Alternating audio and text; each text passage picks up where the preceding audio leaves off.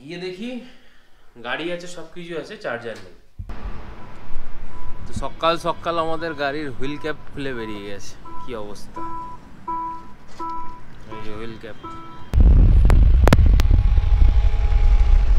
কোনো সমস্যা নেই কিন্তু রাস্তার লোকগুলো পাগল হয়ে যাচ্ছে। পেছনে একটা গাড়ি ছিল আই টোয়েন্টি তো hello friends welcome to my YouTube channel আজকে একটা নতুন ব্লগে সবাইকে ওয়েলকাম তো এখন বাজে রাত্রি দুটো তেত্রিশ।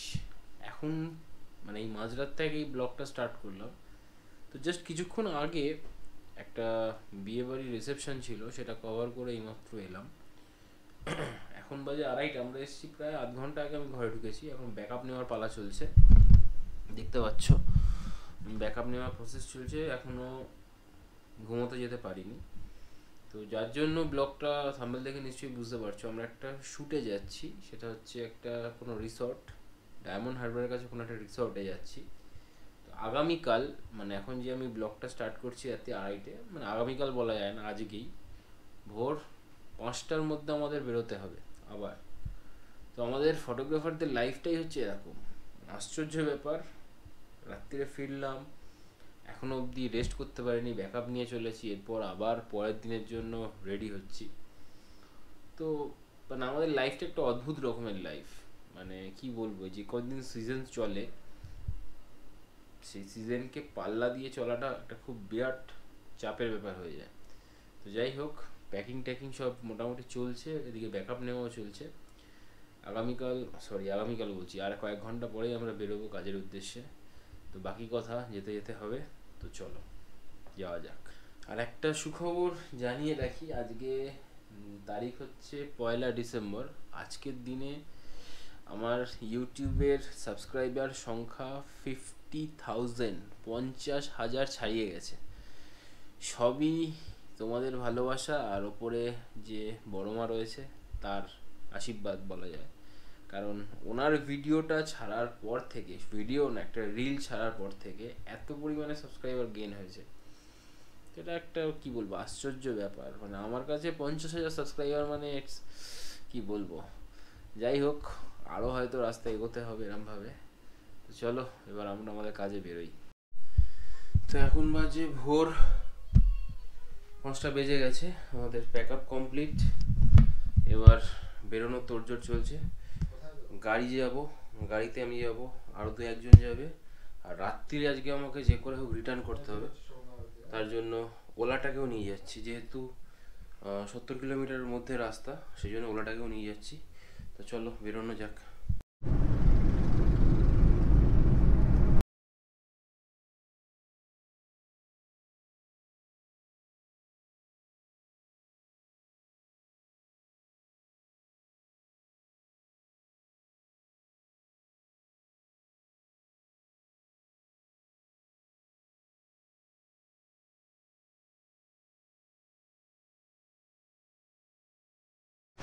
তো এই মুহূর্তে আমরা ডায়মন্ড হারবার রোডে রয়েছি, বেরিয়ে পড়েছি আমার সাথে রসান যাচ্ছে ওলাতে আর আমাদের গাড়ি ওখানে রয়েছে, এখানে আমাদের একজন ফটোগ্রাফার দাদা রয়েছে, সুজিত দা। তো রাস্তা এখনও বাকি প্রায় ষোলো কিলোমিটার মতো, একটু আমরা তারা মানে লেট হয়ে গেছে, একটু তাড়াহুড়ো করছি, চা খাওয়ার জন্য দাঁড়াতে হয়েছে। জায়গাটা হচ্ছে ইবিজা যে রিসর্ট আছে, সেই রিসর্ট থেকে আরও বাইশ কিলোমিটার। ঠিক আছে? ইবিজা রিসর্ট থেকে বাইশ কিলোমিটারও যেতে হবে। হুগলি নদীর একদম কাছাকাছি দেখাচ্ছে জায়গাটা। তো চলো আর এই ওলা চালিয়ে আমার সাথেও কন্টিনিউ আমার সাথে আর কি পাল্লা দিচ্ছে আমার সামনাসামনি থাকছে তো এক্সপিরিয়েন্সটা কীরকম জেনে নি। সমস্যা হচ্ছে? চালাতে কোনো সমস্যা নেই কিন্তু রাস্তার লোকগুলো পাগল হয়ে যাচ্ছে। পেছনে একটা গাড়ি ছিল আই টোয়েন্টি আচ্ছা। হ্যাঁ? তো ও খালি ওভারটেক করার চেষ্টা করছে ভাবছে ব্যাটারি গাড়ি ও কতটা টানতে পারবে না পারবে। কিন্তু জয়, একবার আমি শুধু ওর টোটাল চারটে মুড আছে, আগের ভিডিওতে নিশ্চয়ই বলা আছে। তো আমি যখনই নর্মাল থেকে স্পোর্ট মোডে দিয়েছি, দিয়ে যখন টেনেছে ও বুঝে গেছে, ও তখন আমার টপ করার চেষ্টাই করল না। আমরা এখানে এখন চা খাওয়ার জন্য দাঁড়িয়েছি, ঠিক আছে? চা খেয়ে আরও তাড়াতাড়ি যেতে হবে, বেশিক্ষণ টাইম এখানে দেওয়া যাবে না। মোটামুটি আমি যে অ্যাভারেজ দেখছিলাম, ষাট সত্তর কিলোমিটার আমার গাড়ির অ্যাভারেজ ছিল, ও কিন্তু কন্টিনিউ আমার পিছনেই ছিল। তো ওলা মোটামুটি নর্মাল বাইকের সাথে পাল্লা দিতে পারে। ঠিক আছে? ইলেকট্রিক বাইক বলে। একদম একদম। এই যে স্যার মুখ লুকাচ্ছে কারণ এনার মুখ দেখলে নাকি অনেকের অসুবিধা হয়। ঠিক আছে? লুকানোর কিছু নেই। আমরা সমস্ত কিছু খুললাম খুল্লা করি ঠিক আছে? কাউকে লুকিয়ে চুরি কিছু করি না। তো রসান যাচ্ছে আমাদের সাথে এখন। মোটামুটি পিক আপটা বুঝতে পারছ। এটা যে ইলেকট্রিক বাইক এটা বলা একটা খুব বাজে ব্যাপার। ইলেকট্রিক বাইক নয় ইলেকট্রিক বাইকের মানে অন্যান্য বাইকেরও বাপ বলা যায়। তো আমরা এখন চলে এসেছি প্রায় ষাট কিলোমিটার রাস্তা। কন্টিনিউ আমাদের সঙ্গে একইভাবে আসছে, যাচ্ছে, কোনো ব্যাপার নেই। চলে এসেছি প্রায় এখনও বেশ কিছুটা রাস্তা বাকি আছে। যথারীতি আমরা লেট একটুখানি। আশা করছি প্রোগ্রাম শুরু হবে না এখনও তো চলো, যাওয়া যাক, গিয়ে কথা হবে আবার বাকিটা। আর তোমাদের এই রিসর্টটা আজকে ভালোভাবে দেখাবো। এরকম কী আছে জায়গা? আশা করছি আমি যেগুলো গুগলে যে ছবিগুলো দেখলাম, অত্যন্ত সুন্দর লাগল। ছবি দেখে তো বোঝা যায় না। তো চলো, যাওয়া যাক।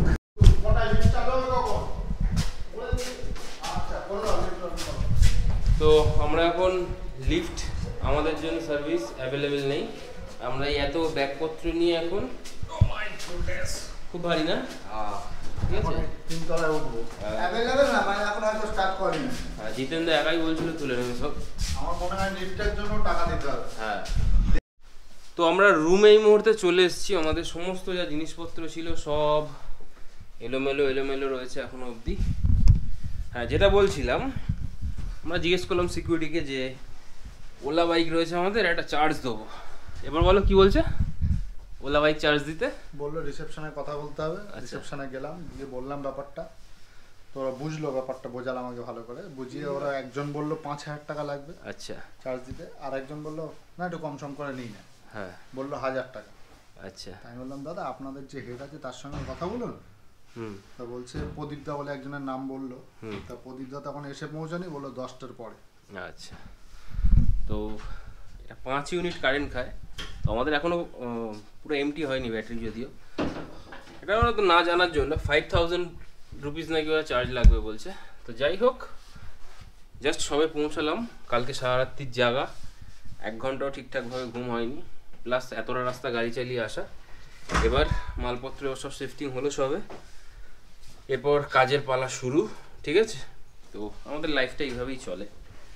তো চলো আবার আস্তে আস্তে কথা হবে।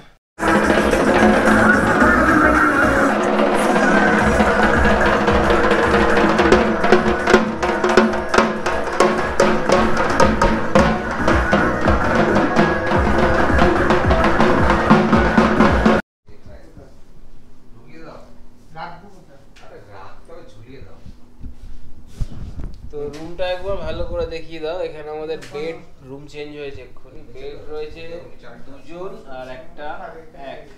টু প্লাস ওয়ান তিনজনের বেড কিন্তু এখানে আমাদের থাকতে হবে ছ জনকে ইয়েস সিক্স পার্সনকে এখানে থাকতে হবে রাত্রিরে গুতিয়ে। অবশ্য আমি বেরিয়ে যাব রাত্রিরে। এরা পাঁচজন গুতাগুতি করবে এখানে। আমাদের লাইফটা এরমভাবেই চলে। ফার্স্ট টাইম যেখানে দিয়েছিল সেখানে? ফার্স্ট টাইম যেখানে দিয়েছিল ভালো ছিল। অনেকগুলো বেড ছিল অনেকগুলো চার্জার পয়েন্ট ছিল। এখন ওইটা গেস্টদের জন্য হয়ে গেল। আর আমরা যেহেতু থার্ড পার্সন সিঙ্গুলার নাম্বার আমাদের জন্য এই ব্যাকডেটেড জিনিসটা। এই মুহূর্তে আমরা চলে এসেছি, সন্ধে হয়ে গেছে ভিউটা তোমাদের দেখিয়ে দিই। পূর্ণলক্ষ্মী রিসর্ট ডায়মন্ড হারবার জায়গাটা দেখে নাও। এটা হচ্ছে ভেতরের, ভিতরে যেখানে প্রোগ্রাম হচ্ছে সেই জায়গাটা। খুব ভালো জায়গা। আর ওইদিকে হচ্ছে হুগলি রিভার এই সাইডটা হচ্ছে হুগলি রিভার ওকে? আর এইখানে আমাদের প্রোগ্রাম হবে এখন, সব রেডি প্রায়। আমাদের সেট যাচ্ছে এই মুহূর্তে আর এখানে স্টেজ হয়েছে। পুরো এরিয়া দেখতে পাচ্ছ, খুব দারুণ সুন্দর প্রপার্টি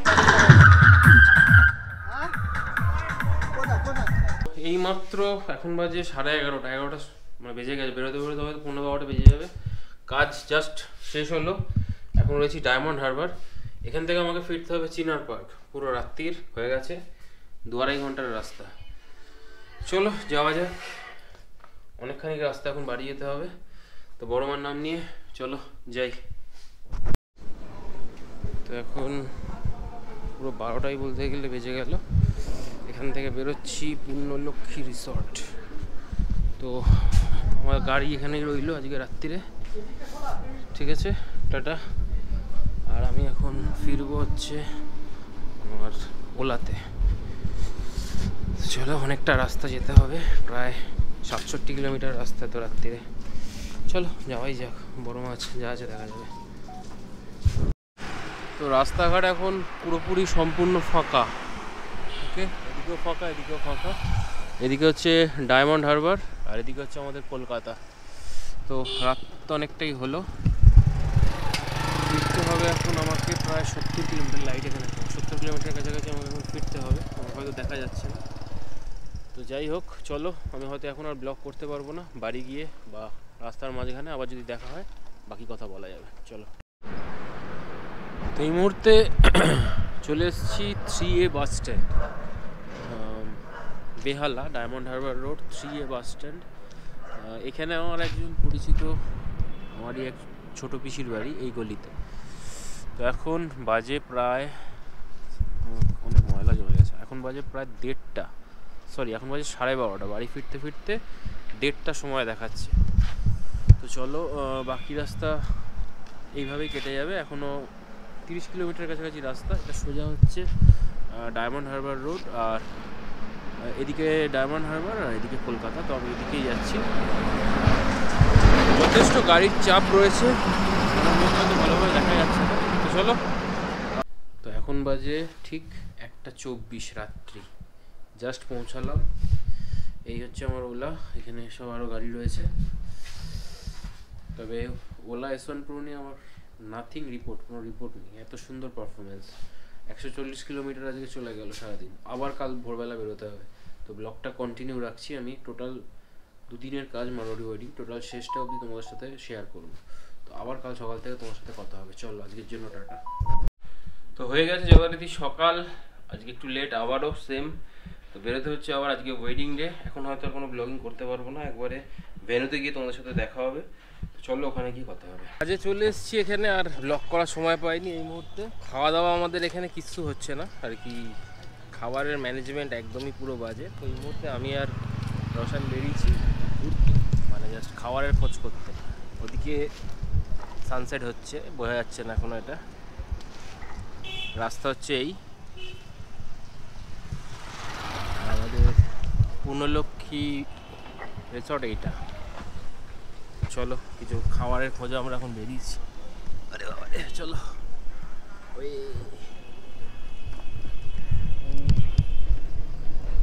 তা বল এখানকার ম্যানেজমেন্টে কীরকম? বাজে বাজে একদম। মানে আমাদের মানে একটাই যদি ফেরা টাইম দেওয়া রয়েছে সেটা হচ্ছে তিনটে। হলদি যদি টাইম দেওয়া রয়েছে সকাল দশটা হচ্ছে বারোটা। মানে সব কিছুতে দু তিন ঘণ্টা করে লেট ও। সত্যি ব্যাপারটা মানে ম্যানেজমেন্ট ঠিকঠাক না হলে আর এই ভিউগুলো তোমরা দেখলে বুঝতে পারছ দারুণ লাগবে। আমরা এই মুহূর্তে একটা খাওয়ার জায়গার জন্য দোকানে এসছি গাড়ি টাড়ি রাখলাম এখানে। ডায়মন্ড হারবার রোড ঠিক আছে? কাজের মাঝে মাঝে ব্লগিং হচ্ছে। আর একটা সমস্যা হচ্ছে এখন আমাদের যে গাড়ি এনেছি, গাড়ি পাংচার ঠিক আছে? গিয়ে আবার স্টেপনি চেঞ্জ করতে হবে। তা ভেনুটা একটু ভালো করে তোমাদের দেখিয়ে দিই। এই হচ্ছে এন্ট্রি পয়েন্ট ওকে এখানে এখানে তবে ড্রোন উড়ানো পুরো রেস্ট্রিকশন রয়েছে। ড্রোন উড়াতে পারছি না ভালোভাবে। আর দারুণ ডেকোরেশন করা এখানে। হলদি ফলদি সমস্ত কিছু যেরকম মারোয়ারি ওয়েডিংয়ে হয় সব আর এটা পুরো ভেনুটা। এদিকে সানসেট চলছে সানসেট হচ্ছে।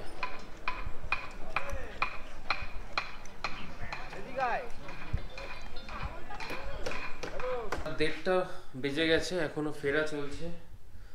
কখন বাড়ি ফিরবো জানি না, হয়তো ভোর হয়ে যাবে। একটা খুব বাজে সমস্যার সম্মুখীন হলাম, যেটা হচ্ছে পূর্ণলক্ষ্মী রিসর্ট এখানে আমরা, আমি যেহেতু আমি ওলা এস ওয়ান প্রো এনেছিলাম গতকালও চার্জ দিয়েছিলাম এখানে এনে। পার্কিংয়ে ছিল গাড়িটা, বলেই চার্জ দিয়েছিলাম এবং আজকে সেটা আমাদের বলা হয়নি। আমি সকাল থেকে এসে চার্জ দিয়েছিলাম, কিছুক্ষণ পরে এসে দেখলাম যে গাড়ির অ্যাডাপ্টারটা গাড়ি থেকে খোলা। যাই হোক আবার আমি লাগিয়ে দিয়েছিলাম চার্জ হচ্ছে। এবার ওলা ওলা যখন চার্জ হয় ফোনে একটা অ্যাপ থাকে।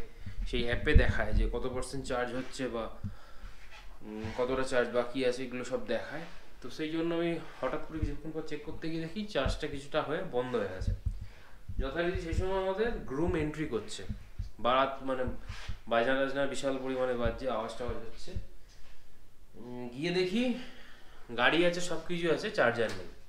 মানে গাড়ি যে চার্জার পুরো ওই পিছন থেকে সকেট অবধি খোলা প্লাগ ফ্লাগ কিচ্ছু নেই সব মানে চার্জারটাই নেই গাড়ি থেকে। তো মাথায় জাস্ট হাত একে জিজ্ঞেস করছি সিকিউরিটি কেউ বলছে জানি না।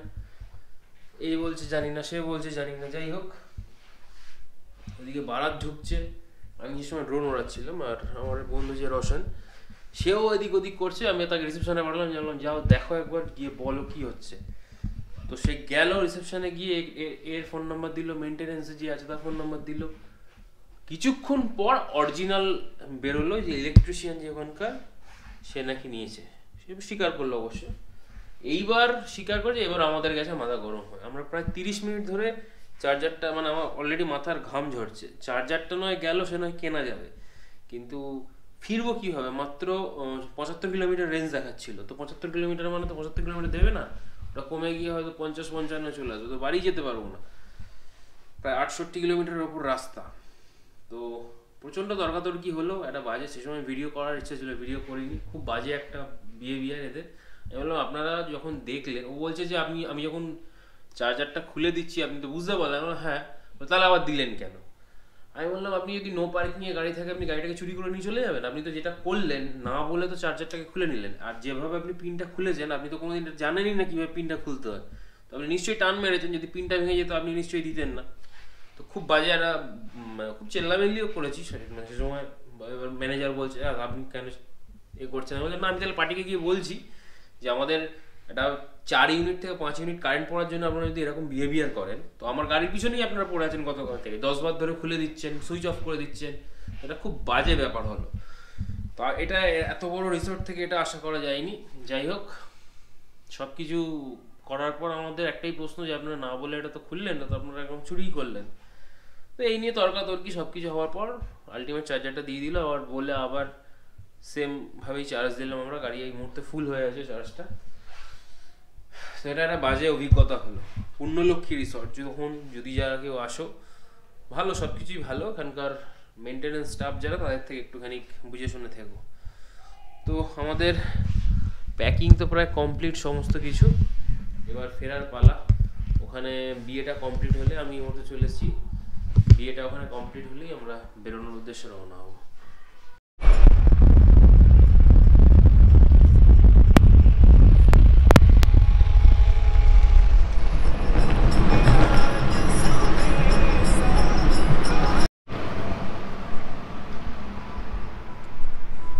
সকাল সকাল আমাদের গাড়ির হুইল ক্যাপ খুলে বেরিয়ে গেছে। কি অবস্থা?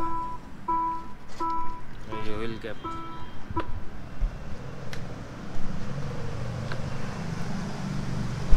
অবশেষে প্রায় সাড়ে সাতটা নাগাদ, প্রায় সাড়ে সাতটা নাগাদ বাড়ি ফিরতে পারলাম। শরীরের অবস্থা একদমই কাহিল। তো যাই হোক, ভিডিওটা কীরকম লাগল অবশ্যই জানিও। আর পূর্ণলক্ষ্মী রিসোর্ট, ডায়মন্ড হারবারে যারা যদি কাজ করতে যাও জিনিসপত্র একটু সামলে রেখো। আর ওই রিসর্টে কিন্তু ড্রোন ওড়ানোটা সম্পূর্ণ রেস্ট্রিক্টেড সামনে ইয়ার বেস রয়েছে বেস ক্যাম্প রয়েছে। ওখানে বেশি হাইটে কিন্তু ড্রোন তোলা যাবে না। এটা সবাই একটু মনে রেখো। ভিডিওটা এখানেই শেষ করছি। কেমন লাগল জানিও। আবার খুব শীঘ্রই তোমাদের সাথে নেক্সট ভিডিওতে দেখা হবে। ততক্ষণের জন্য টাটা।